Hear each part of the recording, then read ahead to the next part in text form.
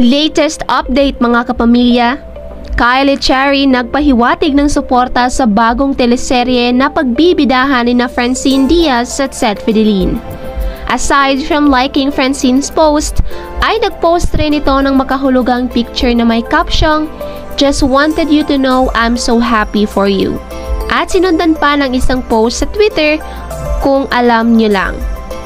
Kaisin fans are happy right now dahil together or apart, nariyan pa rin ang suporta nila sa isa't isa kahit hindi ito direktang sinasabi ng dalawa. Bukod pa rito, sa recent IG post ni Seth ay nagpahiwatig rin ng suporta si Andrea Brillantes by congratulating Francine and Seth sa bagong teleserye ng dalawa. All is well na sa Gold Squad. Mukhang may chance na na magkasama ang apat muli sa iisang vlog. At yan ang dapat nating amagan.